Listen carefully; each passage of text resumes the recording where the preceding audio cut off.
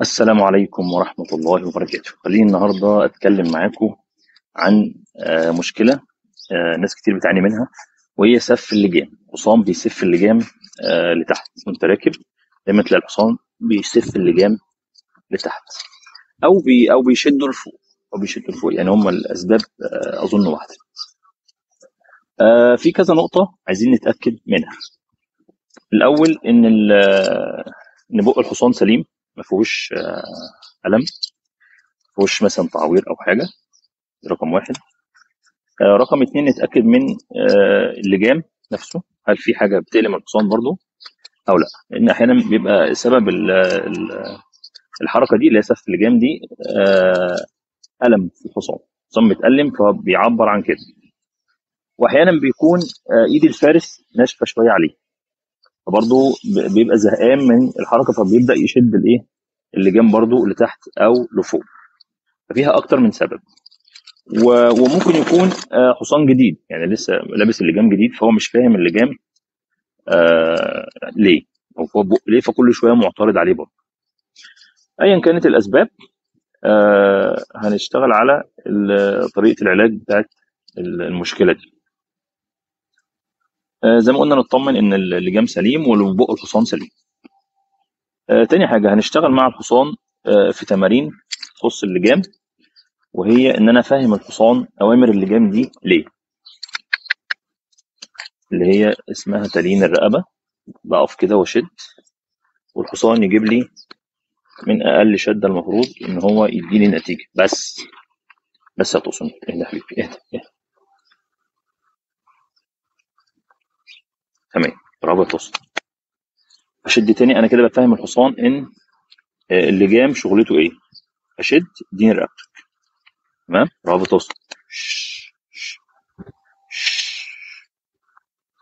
أشد أهو اديني رقبتك اليمة التانية.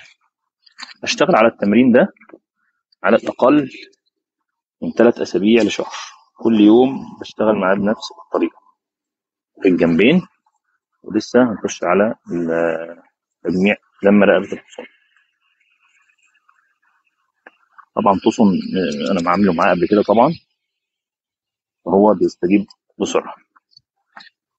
التمرين الثالث وهو ال- الشدتين مع بعض. لازمتهم إيه يا عم توسن في اللجام دول إن تجمع رقبتك.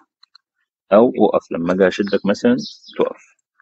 والوقف ده بنعمله وإحنا فوق الحصان. وكده معترض اهو. لما هيديني رقبته هرفع عنه.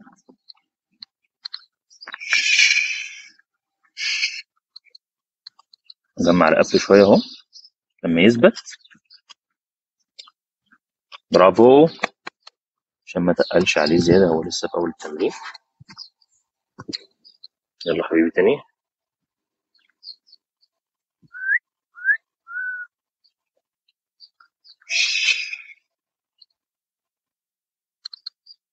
لما يديني رقبته ويثبت شوية أبدأ أرفع الضغط ده لأن أنا شادد بقه. وعايز أقول إن آه، إيد الفارس لازم تكون إيد قوية وحساسة. يبقى في اتصال بيني وبين بق الحصان لكني مش آه، مش شادد بشدة مش ألمه قوي يعني. عارف إن الحصان مروض وكده؟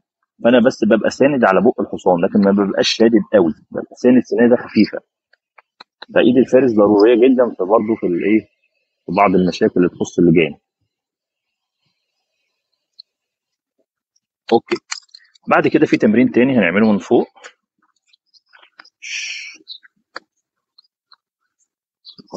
بسم الله الله اكبر الله اكبر الله اكبر هذا الذي ضلنا هذا وما كنا له مقرنين وإنا إلى ربنا لمنقلبون.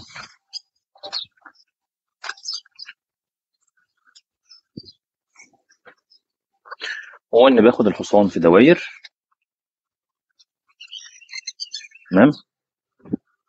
ولما الحصان يشد يشد يشد اللجام لتحت أو لفوق المشكلة الأول لو لتحت لو الحصان بيشد لتحت دي برضو في كل الأوضاع متزنة. ماشي يا لو الحصان. سف اللجام لتحت هو توصل لسه دي سف اللجام أروح جاي شادد كده. نكمل تاني.